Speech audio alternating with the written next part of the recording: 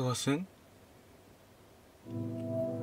우리가 버린 쓰레기로부터 시작되었으며 하천을 타고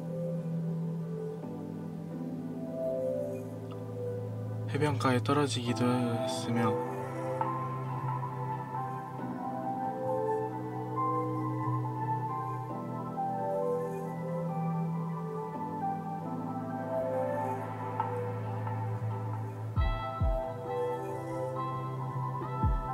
바다로 떠밀려 가기도 했습니다.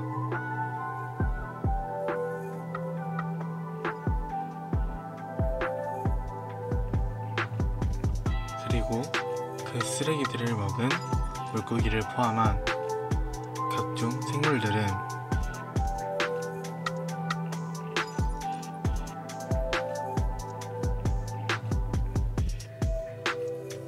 다시 우리 식탁으로 올라오게 되었습니다. 그것에 대한 결말은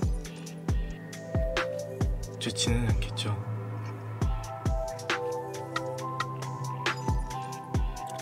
그럼에도 계속하여 쓰레기를 많이 버리게 된다면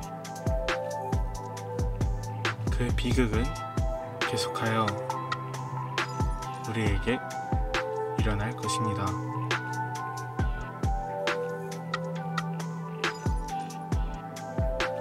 그렇기에 우리는 쓰레기를 적게 배출하여 더 이상의 환경 오염을 막고 후세에 그것을 전해주지 말아야 합니다.